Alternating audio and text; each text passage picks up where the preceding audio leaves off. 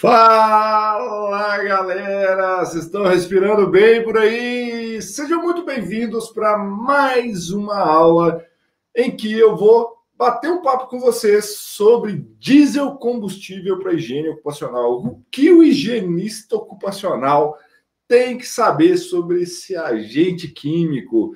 Sejam muito bem-vindos, eu sou Leandro Magalhães, higienista ocupacional certificado e criador do método HO Fácil Agentes Químicos, um método que te dá um passo a passo para você tornar fácil a avaliação dos agentes químicos para a higiene ocupacional e se destacar nessa área que tem poucos profissionais que dominam.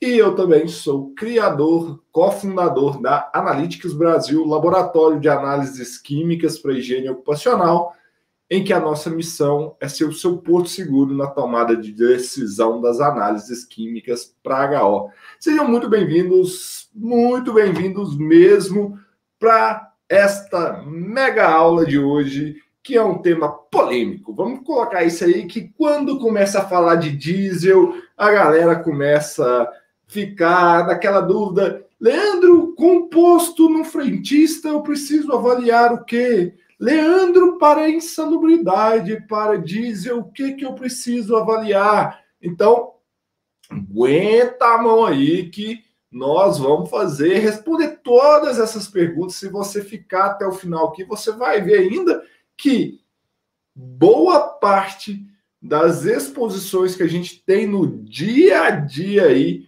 para diesel sequer precisam ser avaliadas quantitativamente ou coletados amostras.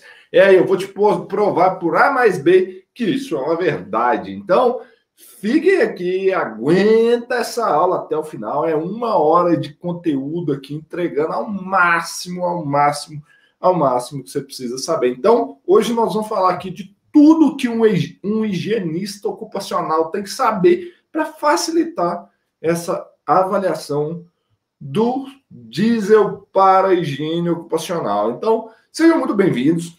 Eu quero saber que eu estou vendo várias carinhas novas chegando aqui. Quem que é essa galera dos novatos? Quem são esses novatos aí que estão assistindo essa aula pela primeira vez? Quem são vocês novatos? Comenta, comenta aqui para mim com a hashtag novato. Eu quero conhecer vocês. Por que novataiada? Eu tenho uma notícia boa e uma notícia ruim para vocês. Que eu quero é o seguinte: os velhacos, os velhacos que estão aqui comigo, os velhacos que estão aqui comigo, ó, tem muita gente, não sei se você sabe, tem três anos que a gente tem essa aula aqui ah, no YouTube às sete horas da noite, terça-feira. Terça-feira, sete horas da noite, é a mesma coisa de lembrar que tem aula online com o Leandro. Então, a velhacada aí já está acostumado comigo, já está tá velhaco com isso aí, que sabe desse, dessa questão dessas aulas. Então, o que, que acontece, pessoal? É o seguinte: os novatos que estão chegando agora, a péssima notícia que eu tenho para dar para vocês é que vocês perderam aí três anos de conteúdo. Três anos de conteúdo vocês já perderam, já era. Zé Fini. A boa notícia é que eu tenho uma promessa que eu vou cumprir esse ano que eu cumpri no ano passado é que toda terça-feira do ano de 2021 vai ter pelo menos uma aula. Então, toda semana, toda terça-feira, o Leandro vai dar uma aula ao vivo aqui, faça chuva, faça sol, feriado que tiver, as férias que tiver, não importa, vai ter aula. Então, o meu conselho para vocês é que daqui para frente não percam. E seja muito bem-vindo, Ana. Tô vendo aí. Sejam muito bem-vindos. Os veiacos, os veiacos que estão acostumados comigo aí, vocês não estão é, dando, bo... dando boas-vindas, não, né, pro povo. Então, velhacada. Então é isso. Então, a gente tem alguns acordos aqui nessa aula. Acordos muito importantes. Que é o seguinte: eu preciso de interação, eu preciso de gás para eu entregar um conteúdo foda para vocês. Então vocês agitam esse chat aí, começa a agitar, não fica panguando, como diz aqui em Minas, não. Então agita o chat, manda mensagem, fala que tá gostando, fala que não está gostando, me xinga, me elogia, mas agita esse chat para mim para eu ver que vocês estão vivos. O mais importante é a gente ver que, estão, que vocês estão vivos ou não. Então eu preciso dessa, dessa energia. Isso aí me passa energia e eu vou entregar muita coisa para vocês. Quem me conhece sabe o quanto isso é importante para mim. O segundo acordo que a gente tem, que é o seguinte, pessoal, eu preciso que vocês me ajudem a chamar mais pessoas para ver essa aula.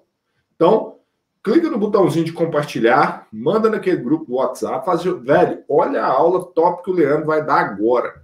Então, aproveita que é de graça. Clica lá, compartilha, vamos lotar essa aula aqui hoje com as pessoas. E último, mas não menos importante, vocês têm uma missão com essa aula. Me ajudar a achar uma hashtag para ela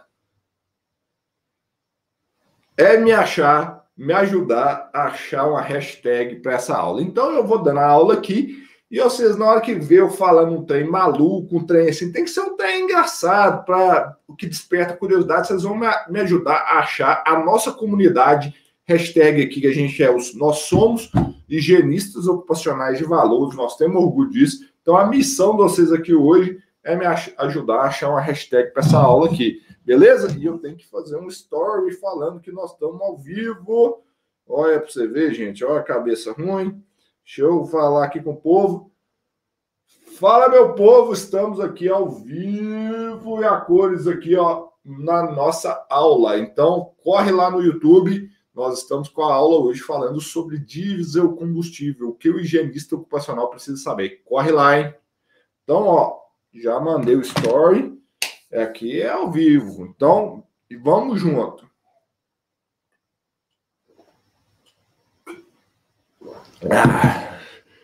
Galera, vamos falar desse negócio?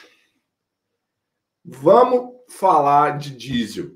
Porque o que, que acontece? Uma das coisas que eu começo a perceber que muitos profissionais da higiene ocupacional se perdem, que eles têm problemas, que é o seguinte: acha, pega uma CGH da vida, uma norma. O que, que é um erro comum do higienista ocupacional? É pegar uma CGH da vida, uma norma regulamentadora, ver que está escrito um limite ali e achar que aquilo ali é, tem que fazer medição. Ah, tem medição, medição, tem que fazer medição, e por aí vai, e pronto. E esquece do preceito básico da função do higienista ocupacional. Um higienista ocupacional, ele nada mais é, nada menos é do que um gestor de riscos. Só isso. Um higienista ocupacional é um gestor de risco e não um medidor de riscos. Vocês conseguem ver a diferença entre gestor de risco e medidor de risco? Qual que vocês acham que é o cara que é valorizado, que entrega resultado, que a empresa vê que ele é um profissional estratégico para essa empresa? O gestor de risco ou o medidor de risco? São duas situações completamente. E qual que é a diferença? O medidor de risco, a única coisa que ele sabe fazer é medição, medição, medição. A palavra que sai da boca dele é medição, medição. Tem que medir, tem que medir, tem que medir, tem limite, tem que medir, mede, mede, mede, mede, me dá dinheiro, me dá dinheiro, vamos medir. Isso é o medidor. O gestor de risco, o que, que ele é? Ele é um profissional da higiene ocupacional que gerencia riscos. Ele vai olhar as situações, antecipar riscos, reconhecer riscos, avaliar aquilo que é necessário e controlar. Então, ele vai olhar para uma situação, tomar uma decisão se carece ou não de realizar uma medição. Isso é a diferença. E aí, ele vai realizar medições daquilo que faz sentido. E tem como você ter uma capacidade de análise do ambiente, das pessoas, dos agentes e dos processos para saber se você precisa ou não realizar uma medição. E isso que cabe ao higienista ocupacional fazer: conhecer essas ferramentas, esses conceitos técnicos para conseguir discernir o que fazer. E isso gera valor. E é isso que o higienista ocupacional de resultados que se destaca faz. E o que, que acontece que muitos profissionais ficam perdidos? E isso é muito comum com o diesel. Gente, aqui do lado é a Analytics Brasil. Aqui do lado, ó.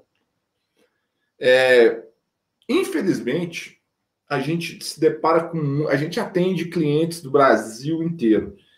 E eu vira e mexe vejo profissionais fazendo medição de diesel para isso, medição de diesel para aquilo, fazendo medição de fração inalável e vapor de diesel. Vou falar sobre isso aqui ainda, então acompanhe até o final. Se você não sabe o que é isso, é bom você entender.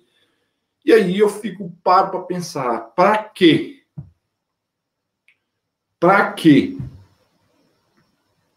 Vocês têm que ter a capacidade de entender que provavelmente em várias situações o diesel não faz sentido avaliá-lo.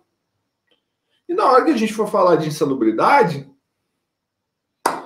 menos, menos ainda. E aí, vocês terem noção, tanto que eu gosto de hashtag, nós criamos a hashtag na, na aula da semana passada. A aula da semana passada nós criamos a hashtag, de vez em quando eu sou bom para fazer bordão. Nós criamos a hashtag do Office Boy da HO. O que, que é a diferença? Gente, o profissional que é o mal necessário, ele é só um office boy da HO, que só entrega papel e documento. Ele é um entregador oficial de papel e documento. O office boy. Office boy da HO. Esse cara, essa cara, é um profissional que ele só entrega documento. Agora, eu vou mostrar para vocês o que, que a gente tem que pensar o que, que a gente tem que entender para ser um gestor de riscos químicos para diesel e não um medidor de diesel e não um office boy entregador de papel contendo informações sobre o diesel. Vocês estão preparados para isso? É, vocês estão rindo, né? O povo tá rindo aí. Não, aqui também de vez em quando rola entretenimento, gente. Então rola entretenimento também. À medida que você vai ficando calejado de fazer aula ao vivo, você vai ficando mais calejado. Aí você vai criando uns bordões, tão engraçado, e o povo vai rindo aí dessa cara, né? Pô, nós estamos quase batendo 100 pessoas ao vivo aqui, galera. Traz, vamos trazer o povo aí em todas as plataformas nos assistindo. Eu quero ver vocês me ajudar a trazer esse negócio aí. Então é o seguinte, galera. Primeira coisa que o higienista ocupacional, ou seja, o que, que um higienista ocupacional tem que saber para lidar com diesel como um agente químico no ambiente de trabalho na hora de fazer o gerenciamento de risco ocupacional. A primeira coisa é entender o que é um diesel. Se vocês não tiverem isso na cabeça, o que, que é esse bendito desse diesel, tudo vai ficar mais difícil, tudo vai ficar mais complicado. E aí vai entrar o medidor de riscos em ação e vai querer fazer um monte de medição de um monte de coisa que não faz o menor sentido. Abre parênteses. Por exemplo, fazer medição de BTX para diesel. Pelo amor de Deus. Então, primeira coisa que nós temos que entender e o higienista ocupacional tem que entender o que, que era um diesel. O diesel é um destilado do petróleo. Ou seja, o diesel é obtido em refinarias em que é, você pega o petróleo bruto, petróleo cru, e você vai destilar ele e você vai obter as naftas ou os derivados de petróleo, em que você tem desde os gases até as naftas mais leves, chegando às naftas mais pesadas até o asfalto. Então você tem várias classificações de naftas de acordo com a temperatura, a faixa de pontos de ebulição, etc. E um dos produtos destilados do, do petróleo que existe é o óleo diesel. Então, quando a gente está falando, quando a gente está falando de óleo diesel, a gente está falando de uma mistura muito complexa de vários componentes derivados do petróleo, em sua grande maioria hidrocarbonetos. Em sua grande maioria, o petróleo é feito de uma grande composição de hidrocarbonetos. Porém, turma, porém, são hidrocarbonetos mais pesados. O que, que isso quer dizer? São hidrocarbonetos que têm uma cadeia carbônica maior, ou seja, não compõem o diesel, em sua grande parte, hidrocarbonetos leves, como hexano, como benzeno, como tolueno, como chilenos, por exemplo. E se compõe, essa quantidade é muito pequena. É muito pequena. Traços.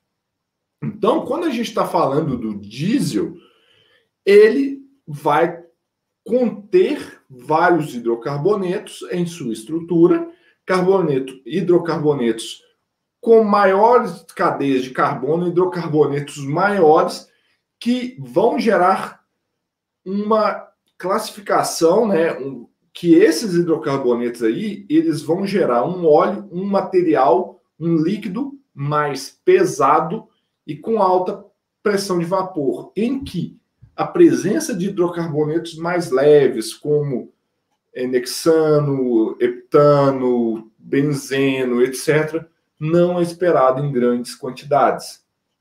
Não é esperado. Esses agentes aí são esperados em naftas mais leves. No óleo diesel, a gente não espera isso, tá?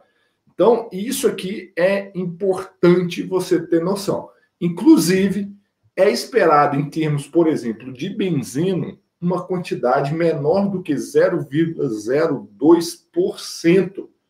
Isso aqui não sai da cabeça do Leandro, está saindo da definição do concave em que eu estou lendo isso aqui na minha tela agora, em que esse 0,02% vem, por exemplo, da documentação que estabelece o TLV do diesel na CGH.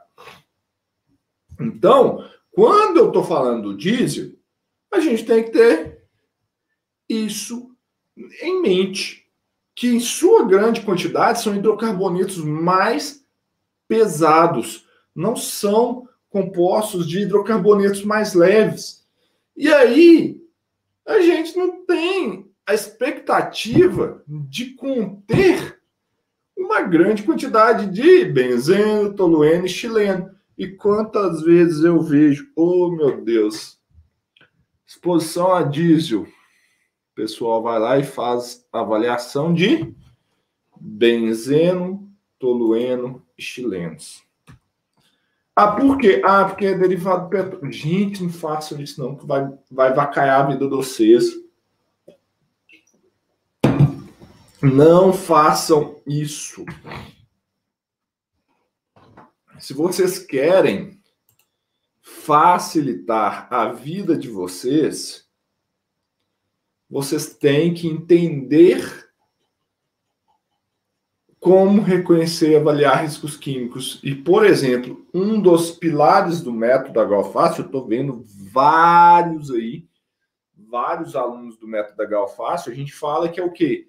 Entender os agentes, entender qual é o agente. Então, um dos pilares do método H-Fácil que a gente tem que utilizar para facilitar a avaliação dos riscos químicos para a higiene ocupacional é entender o agente. Qual é o agente que gera o risco ocupacional? Não dá para fazer o que eu chamo de higiene ocupacional da esperança. E o que é essa higiene ocupacional da esperança?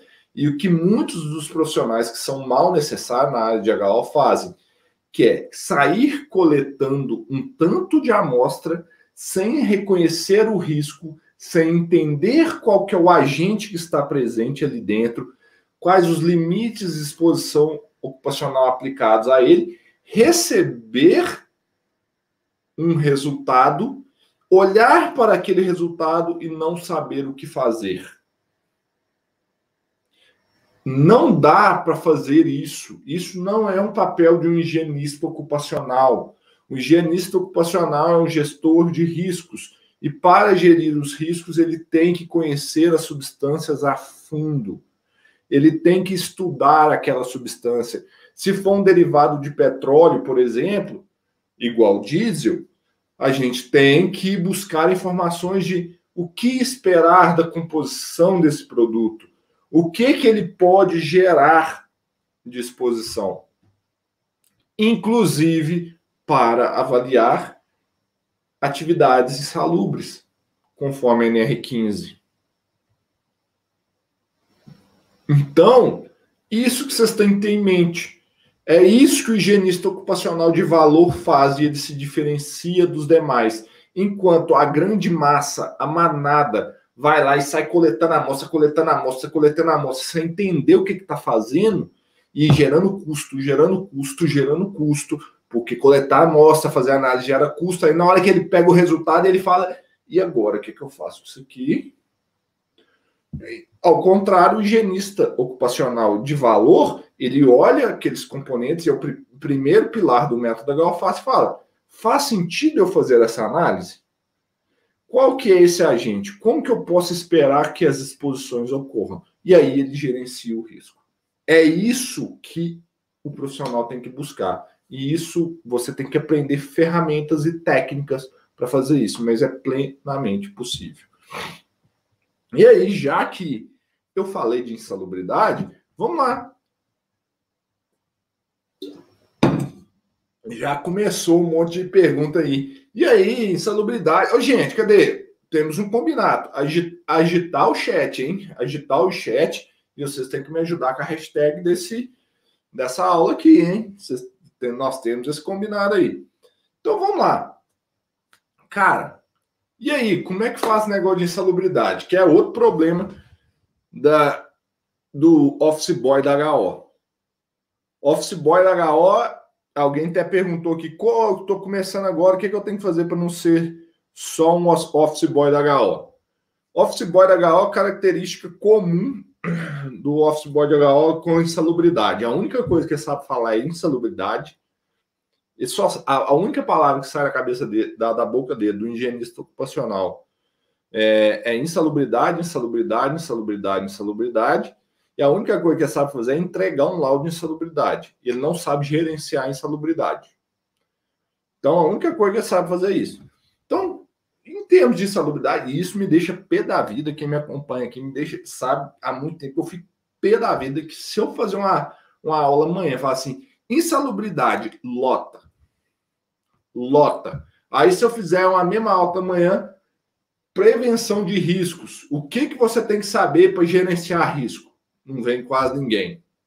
Mas falou em salubridade, lota a aula.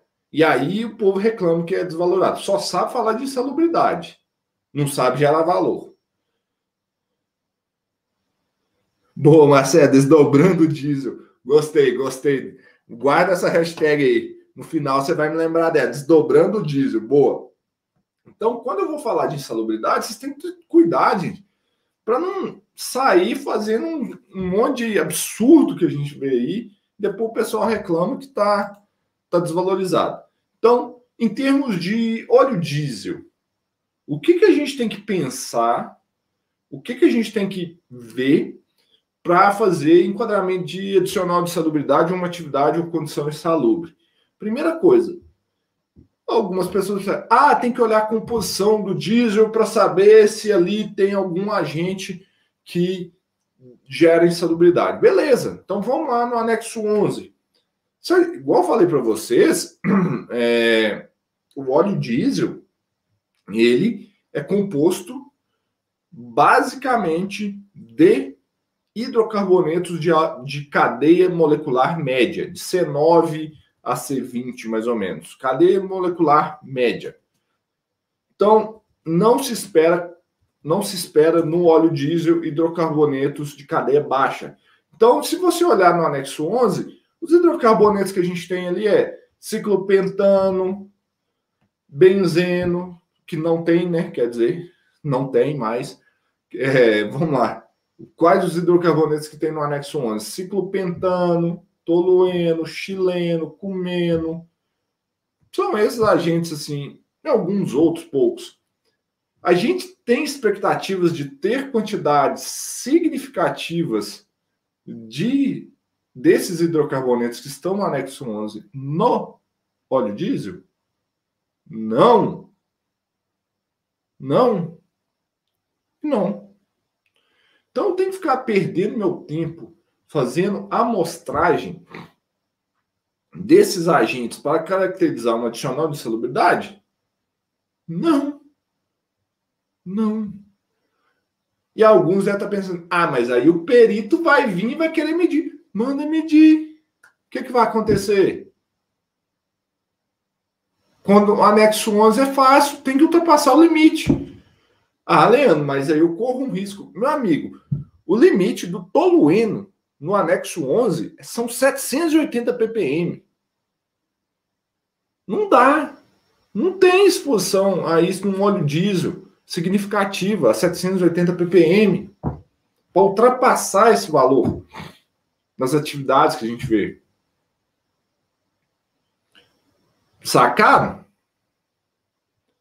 Isso que é, vocês têm que entender, tá vendo? Como que é, se você entender um pouquinho, estudar o agente ali, você não precisa passar dificuldade.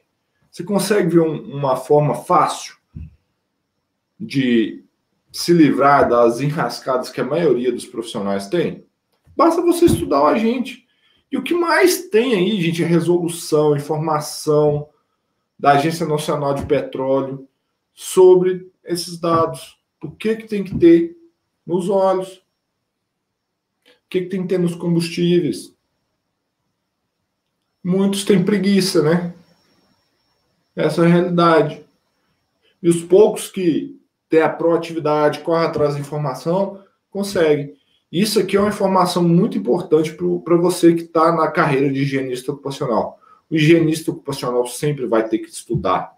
O higienista ocupacional não sabe tudo. O higienista ocupacional ele não é obrigado a saber todas as informações na, de cabeça. Ele tem que buscar essas informações. Ele é um estudioso. Então, se você se deparar com um agente que você não conhece, se você se deparar com um processo que você não conhece, se você se deparar com alguma coisa que você não conhece em higiene ocupacional, fique tranquilo. O higienista ocupacional não tem que saber tudo de cabeça.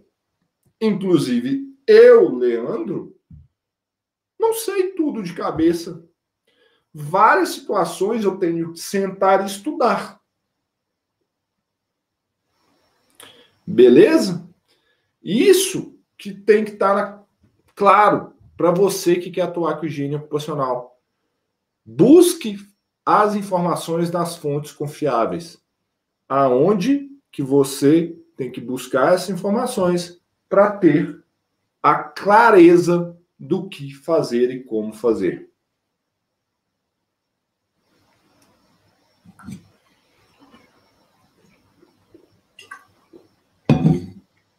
José Almir, eu só vou falar uma coisa para você. No anexo 11 e no anexo 12 não existe enquadramento de insalubridade por dermal, por, por contato dermal. Anexo 11 e anexo 12 não existe. Cara, pode discutir, pode espernear, pode fazer o que falar o que for comigo, nada me convence do contrário, porque está escrito em norma. Está escrito em norma e pronto, acabou. Não existe isso, tá? José Almir. Não tem Pronto, acabou. Contato dermal, não tem. Não existe. Acabou, tá? Beleza? Ô, Lorival, desculpa. Lorival me chamou atenção aqui, muito importante. Confundi, confundi o limite do Tolueno. Tolueno 78, eu falei 780. Obrigado, Lorival. É isso aí mesmo, 78. Confundi aqui, é, falei um número um pouquinho grande, né? Tá. Beleza? Então, isso aqui é importante você, vocês terem em mente, tá? Obrigado, Lorival, por me corrigir aí, tá? É, então, não tem insalubridade contar dermal anexo 11 e 12, não, tá? Esquece isso. Esquece essa questão, tá? Então, beleza. Leandro, e o tal do anexo 13? Aonde que pode enquadrar? Eu posso enquadrar uma atividade ou uma operação insalubre para alguém que manipula óleo diesel no anexo 13 da NR15? Pode. Qual? Qual? Já tô vendo, já prevejo o diabinho falando na, na, aqui na, na cabeça, na mente, assim. Hidrocarbonetos aromáticos. Hidrocarbonetos aromáticos. O diabinho já está falando, né? Na, o diabinho já está falando aí que dos hidrocarbonetos aromáticos. Lembre-se, lembre-se que sim, podem ter hidrocarbonetos aromáticos no óleo diesel, mas a tendência é que a concentração seja muito baixa. Então, cuidado, quando a gente está falando aí de alquilbenzenos na concentração do óleo diesel, a gente está falando de C7 a C10, que é a partir do tolueno até o cumeno, né? Então, assim, são alguns agentes que estão ali, mas a tendência é que seja concentrações pequenas desses agentes. A tendência é que seja concentrações muito pequenas. Aí aonde que entra a principal parte do da enquadramento de uma atividade, uma operação insalubre a benzeno no anexo 13. Você tem lá uma operação que chama limpeza de peças ou motores com óleo diesel aplicado sobre pressão nebulização. Aqui, deixa eu mostrar para vocês. Então, seria a opção para enquadramento de óleo diesel no anexo 13 como é, operação insalubre é na limpeza de peças ou motores com óleo diesel sob pressão. Sob pressão, beleza? Então, é, essa aqui é a principal fonte que vocês têm que ter, que é onde vai enquadrar hidrocarbonetos aromáticos, desprezível, tá? E aí o pessoal está me perguntando contato dermal, etc. A gente vai falar isso agora. Então, eu não gosto nunca de abordar tanto essa questão de salubridade nas aulas aqui, porque geralmente as pessoas conseguem se reduzir a isso, insalubridade satisfeita.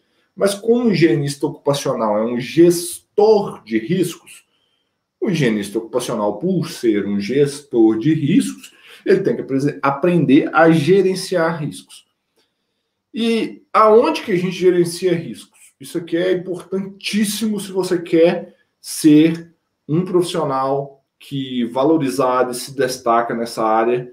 Você tem que ter a facilidade de compreender que o higienista ocupacional é um gestor de riscos. E para gerenciar riscos, inclusive na nova onda que a gente tem do PGR, GRO, etc., o gerenciamento dos riscos, você deve fazer para gerenciar riscos, utilizar os limites da CGH. Por quê? Eles são mais atualizados que os limites da NR15.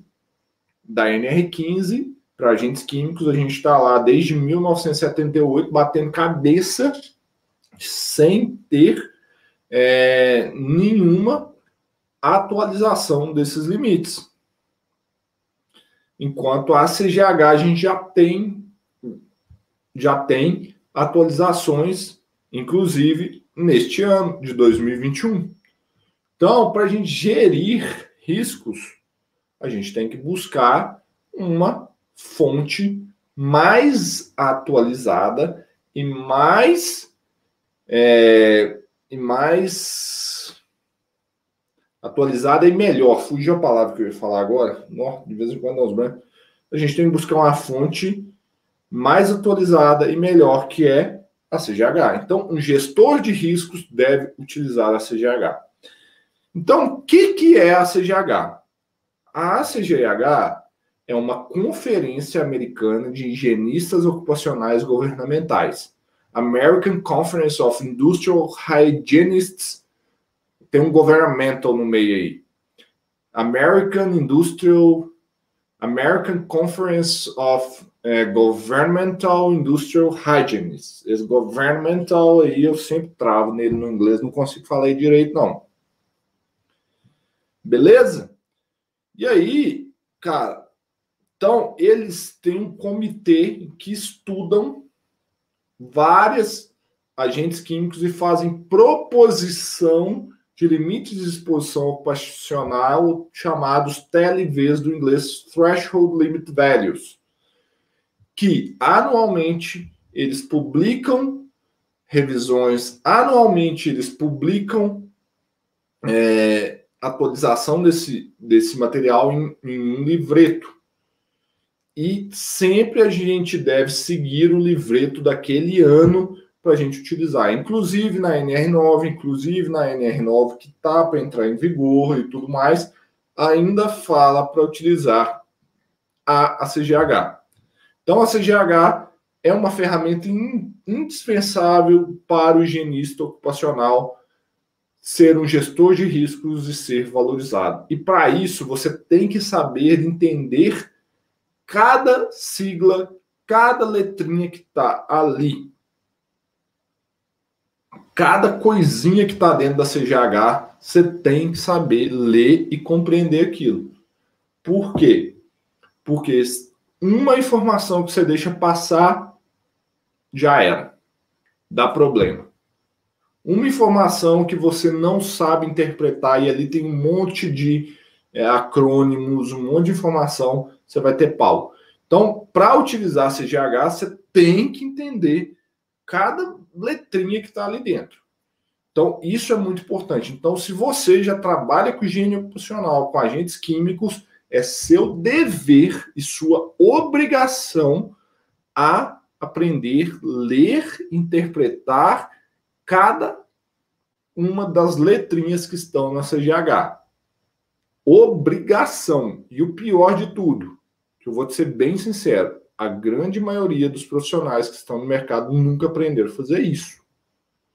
Então, se você começar a entender isso, você já dá um salto lá na frente. Você vai ver na hora que eu, no final dessa aula aqui, uma das coisas que eu vou mostrar para vocês. Então, a CGH tem esse compilado de limites que nós, como higienistas ocupacionais de valor, né, temos que ter essa noção, beleza?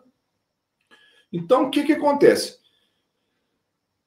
Já vi umas perguntas aqui. Deixa eu até tomar água. Hoje estou tomando até pouca água. Eu já vi algumas pessoas fazendo algumas pesquisas aqui, ó, pesquisas não, perguntas aqui, falando de do, do diesel, se tem que fazer como nafta, etc. Pergunta excelente, mas nós já vamos responder. Isso, tá? Eu não vi quem que era, não. O chat aqui subiu rapidão nessas horas, gente. Então, é, qualquer coisa vocês vão falando aí, tá? É... Então, o que que acontece? É, o que que a gente tem que parar e pensar em termos da CGH? Eu estou abrindo um arquivo aqui para vocês. Então, cada letrinha, cada coisinha que está ali, a gente tem que entender. Então, diesel, exposição a óleo diesel.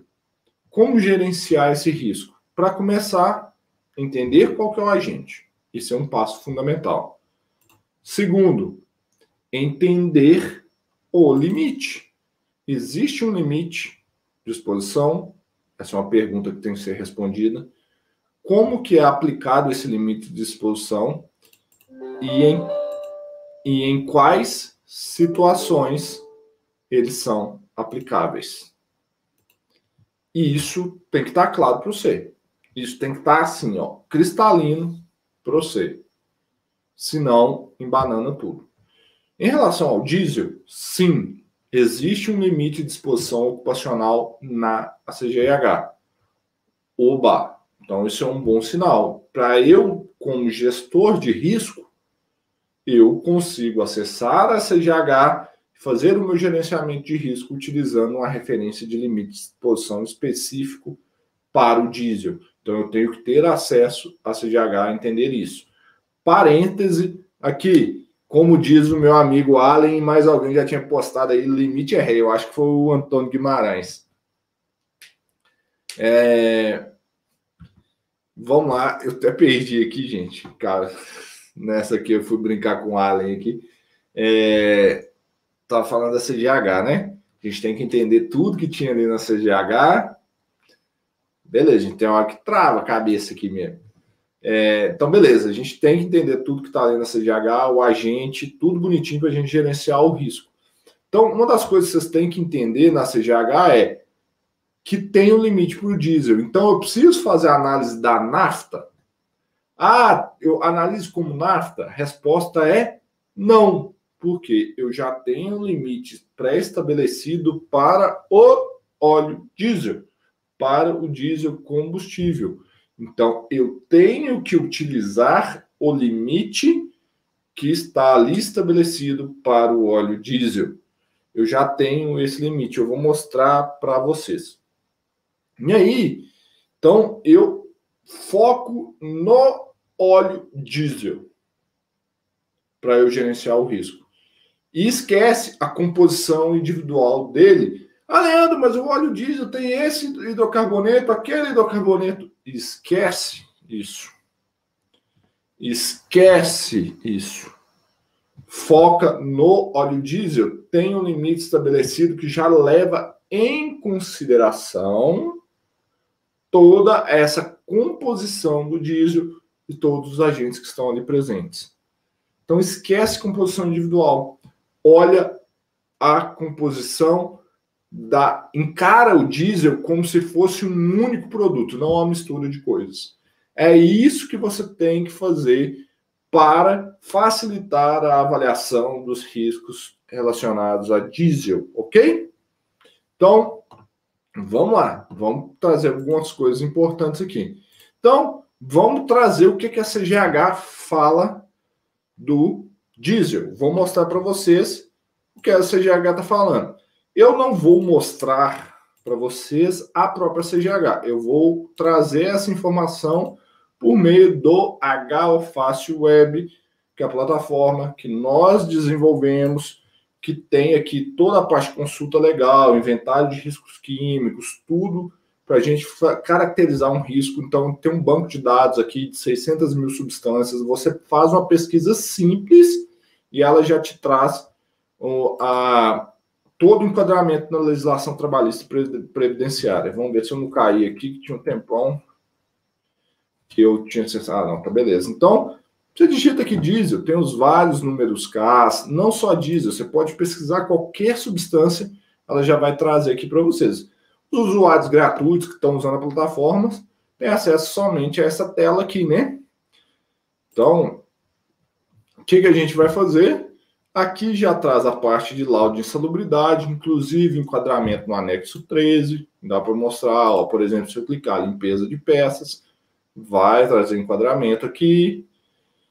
Tenho a CGH, que nós vamos falar sobre ela, eu vou focar muito na CGH aqui para vocês, e a parte até do LTCAT, que está aqui, ó, que o óleo diesel, ele tem também, a gente traz o possível enquadramento no LTCAT para vocês. Isso aqui não é só para o diesel, são para as é, milhares de substâncias que estão na HFácil Web. Quem quiser conhecer, procura aí, HFácil Web, vocês podem olhar as plataformas e os planos aí que fazem sentido para vocês, tá? facilita muito a nossa vida, porque a gente já traduz as coisas todas para vocês aqui, vocês não têm que ficar perdido no que, que é o que, tá? Então vamos entender o que a CGH fala do diesel para a gente pensar nele termos de gestão de riscos.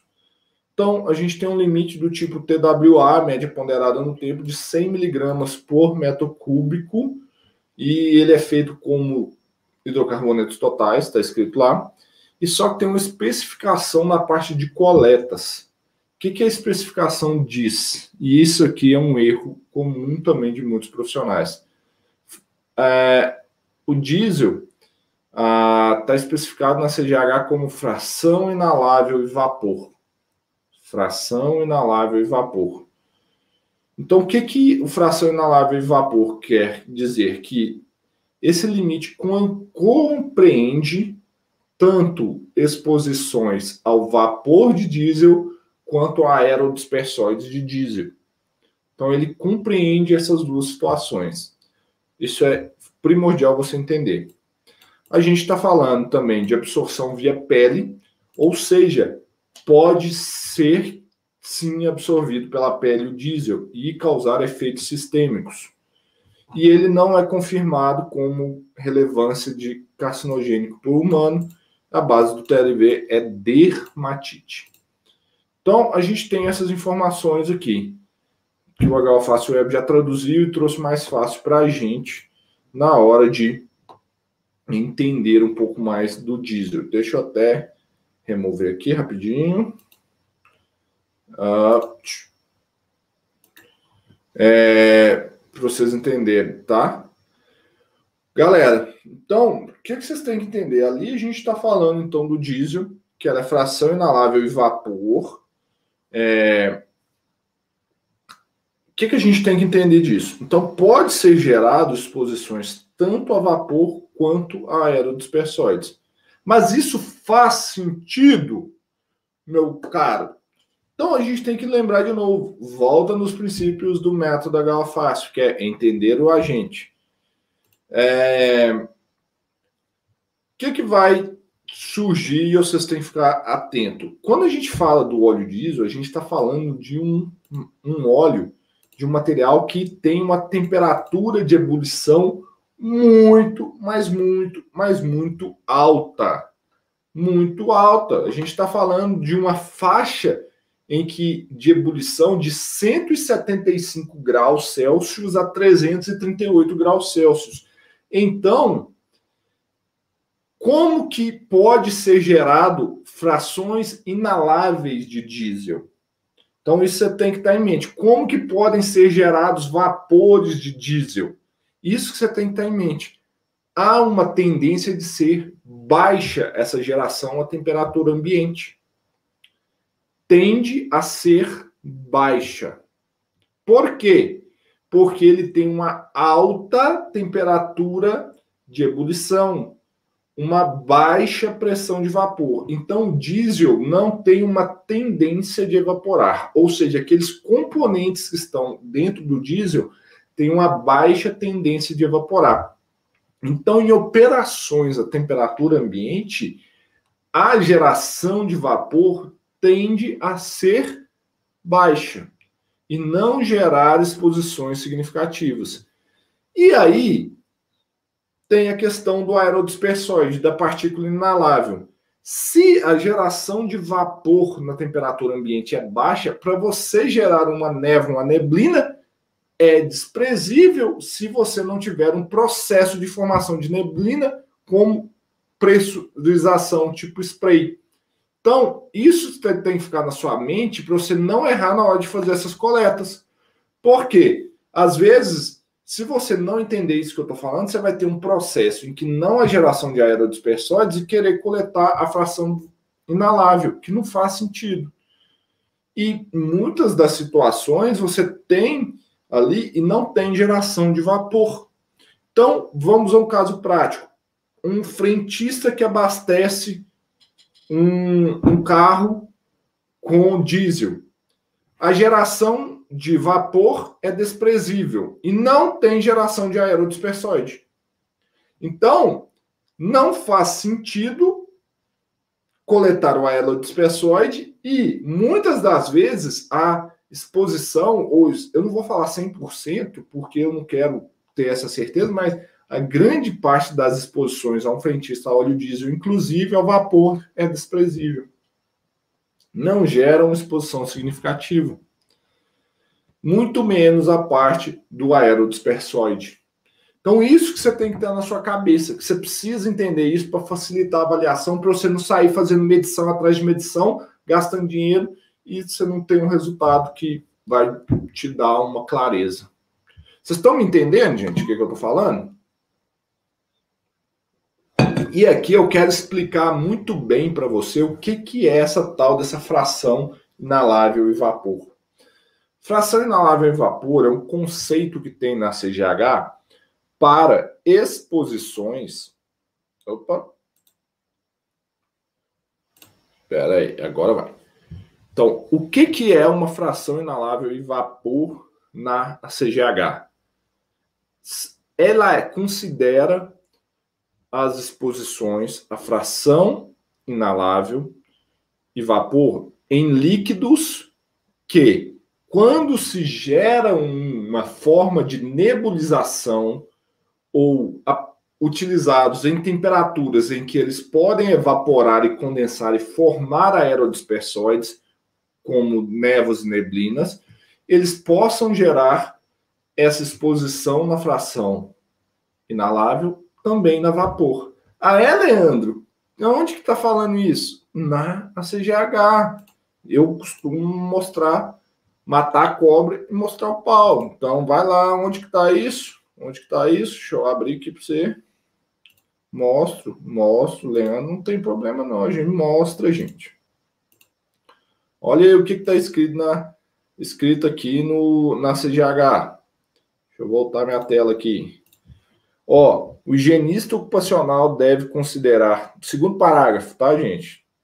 O higienista ocupacional também deve considerar tanto a fase de vapor com, como a fase da partícula na avaliação de exposições em operações de pulverização spray, processos envolvendo alterações de temperatura que possam afetar o estado físico da matéria quando uma fração significativa de vapor é dissolvida nas partículas de outra substância ou é dissolvida nelas, tais como os compostos solúveis em água em ambientes de alto teor de umidade. Então, o que, que a, a CGH falou aqui? o que, que a CGH fala da fração inalável de vapor? Eu tenho que considerar a geração da parte inalável em operações e processos que geram a parte inalável, ou que eu tenho spray, ou que eu tenho temperatura e líquidos que são de alta temperatura de ebulição, que vão gerar névoas, nesses casos. Então, por exemplo, você tem uma operação em que não gera gotículas, suspensas no ar, você não tem que ficar doido correndo atrás fazendo amostragem disso, não, meu filho. E o que, que acontece? Você vai atrás de um monte de laboratório e eles vão te vender isso, você vai pagar isso mais caro. Você vai pagar essa análise. E você vai perguntar um monte de laboratório e eles vão falar que você tem que fazer, porque a CGH está falando que é fração na lava vapor, tem que fazer os dois mas eles não leram, não entenderam o que, que é fração inalável vapor, não. Você tem que ter a capacidade de discernimento, de entender aquilo que você está fazendo, para não gastar dinheiro desnecessário, para não perder tempo e para entregar alguma coisa que tenha plausibilidade. Tá? Isso que vocês têm que, então, pensar, igual o pessoal do frentista, então a fração inalável é insignificante. Eu, não falo que nem é insignificante, não existe. Aonde que está gerando a aerodispersóide ali? Vocês estão pegando? Como que vocês podem facilitar a vida de vocês a partir de conhecer um processo? Simples. Então, isso que vocês têm que ter essa clareza. Isso que vocês têm que ter essa facilidade, gente senão vocês vão ficar perdidos, ficar no limbo. E aí vem outra questão: qual que é a outra capacidade de análise que vocês têm que ter? Principalmente quando eu falo do diesel ou de qualquer líquido, é entender a volatilidade do líquido. Volatilidade é a tendência de um líquido evaporar, ir para o estado vapor. Isso está relacionado à pressão de vapor desse óleo. Isso, na verdade, né, está relacionado à composição do material, está relacionado à pressão de vapor do líquido. A temperatura de ebulição está intrinsecamente relacionada à pressão de vapor. E o que, que acontece? Você tem que ter a capacidade de ler e entender os dados que estão ali para saber se aquele líquido é pouco volátil ou muito volátil. Se for um líquido pouco volátil e tiver um limite de exposição alto, a tendência é que a exposição seja, seja desprezível e o que, que acontece? A exposição sendo desprezível, o risco é baixo. E chega a ter casos em que a volatilidade é tão baixa que sequer gera um risco. Sacaram? Então vocês têm que ter essa capacidade de entender e relacionar a volatilidade dos líquidos para ter uma clareza do que fazer, como fazer e responder se aquilo, aquela exposição pode ou não gerar uma exposição significativa. Então, quando a gente pega um óleo diesel, por exemplo, a gente vai ver que a pressão de vapor dele é muito baixa. Ele é um líquido pouco volátil. Então, a tendência de gerar vapores é baixa. Então, operações a temperatura ambiente, por exemplo, tendem a gerar vapores de diesel baixo. Tendem a gerar exposições pequenas, algumas das vezes desprezíveis. Então, para que se tenha uma exposição significativa ao óleo diesel, você tem que ter processos de nebulização e processos em temperaturas mais altas, que aí você tende a aumentar o risco à exposição ao diesel. Sacaram a capacidade de análise e desenvolvimento que um higienista ocupacional tem que ter? E vocês viram a importância disso daqui em uma, em uma coisa simples que eu estou falando para vocês. Vocês têm que ter esse know-how, esse macete, para saber andar, para ter facilidade com os agentes químicos. E olha que eu não falei nada difícil, nada do outro mundo para vocês, não, gente. Isso aqui são coisas que eu deparo no dia a dia. Os meus alunos do método da Fácil se deparam no, todos os dias, sabe?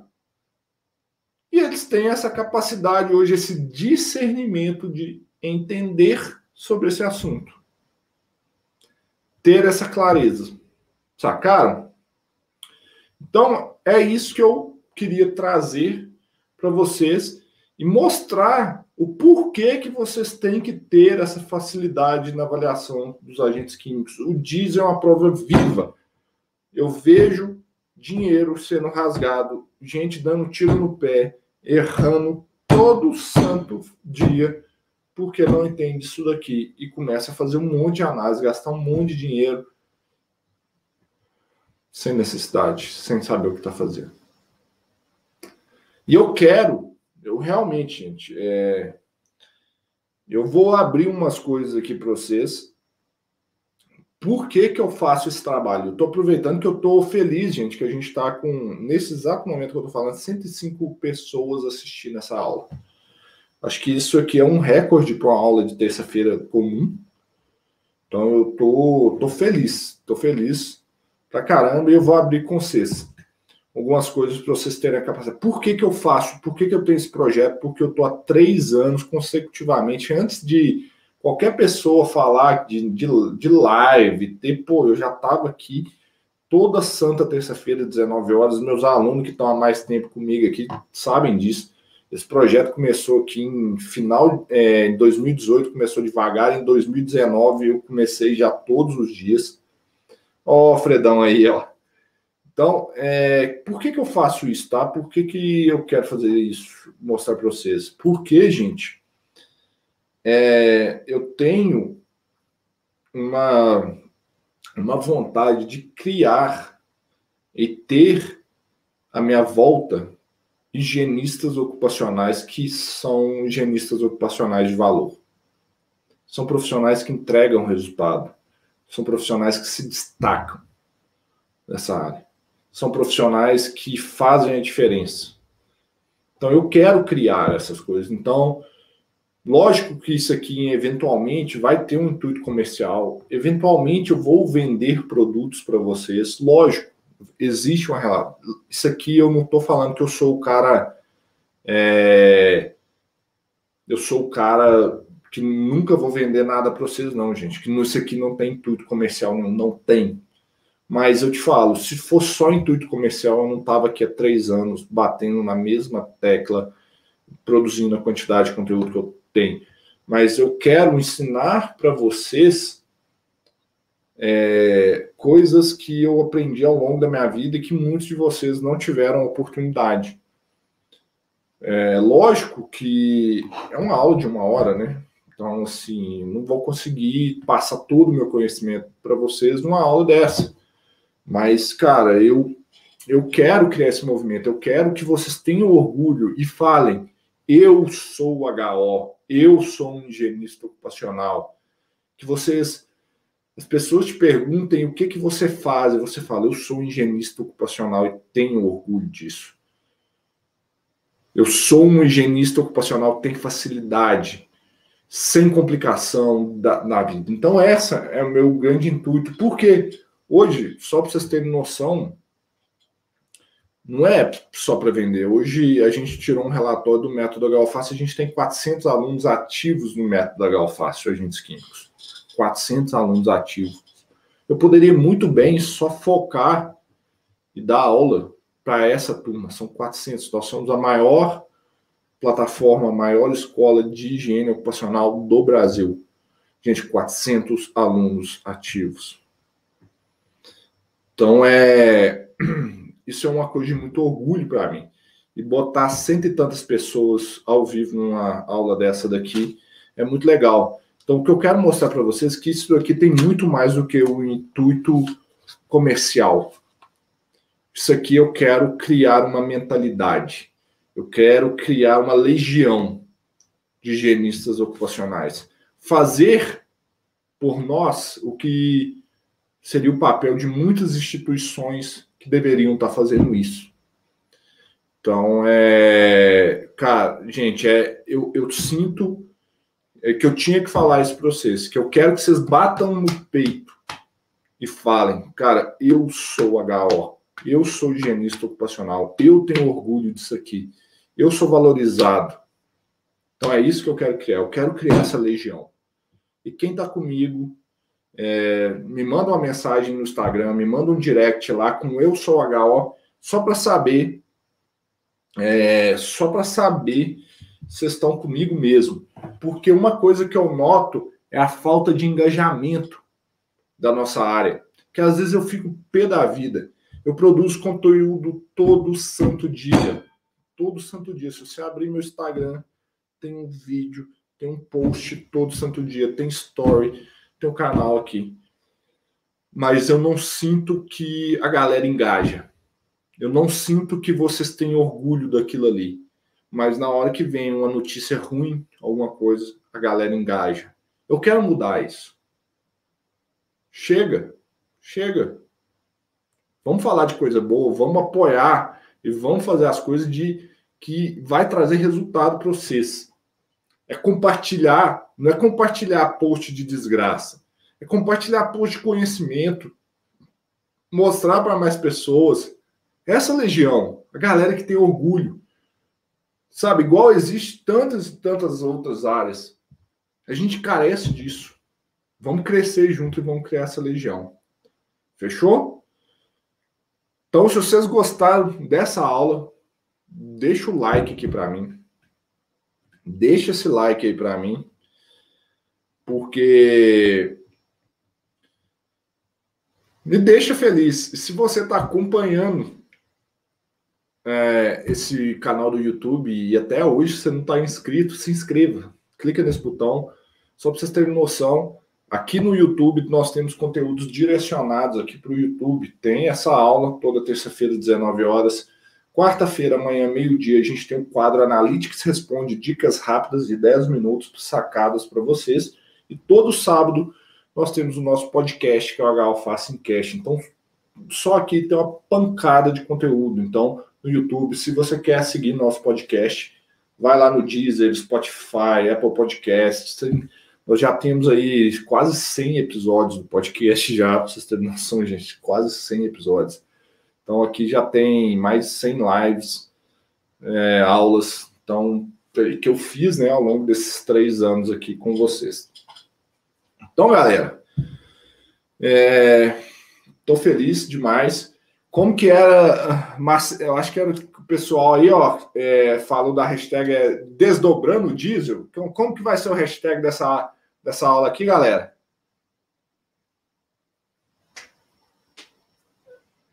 Pô, o Antônio, cara, o Antônio Olímpio aqui, cara. Pô, o Antônio aqui tá comigo já tem uns quatro anos, né, Antônio? Você foi da primeira turma do método, né? O Antônio, eu acho que foi do primeiro, da primeira turma do método. Galera, então quero agradecer vocês. Eu espero que vocês tenham aprendido bastante com essa aula aqui. Eu entreguei de coração para vocês muita coisa.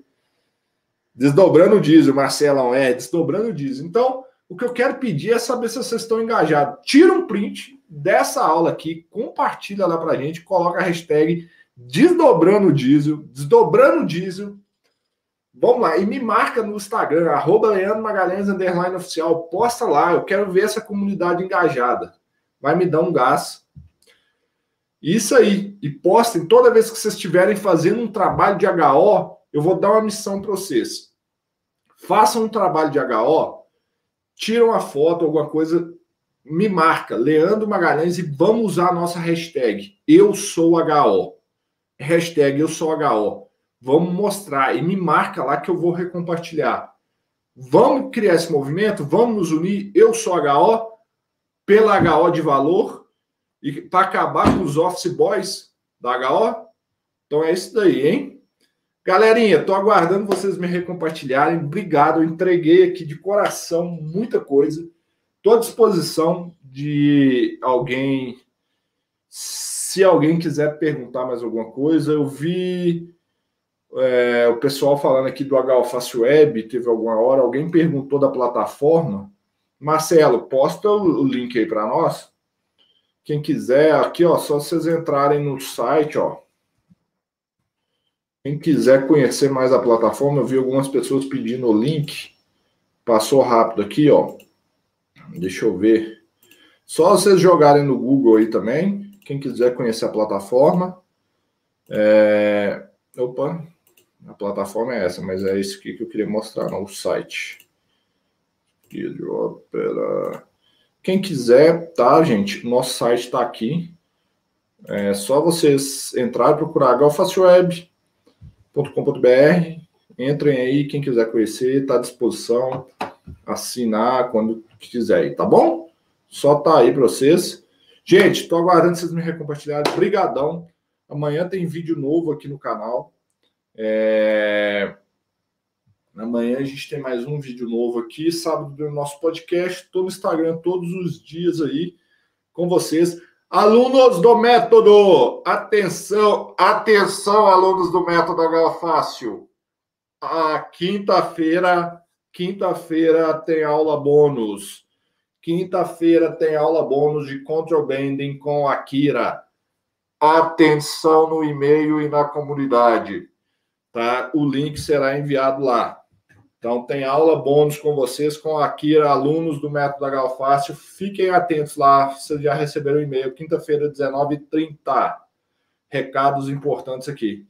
Pessoal, de coração, muito obrigado. Até terça, na nossa próxima aula. Terça-feira, nós temos mais uma aula. Eu estou no Instagram esses dias todos aí. Tchau para vocês, boa noite e ótima semana. Eu sou HO.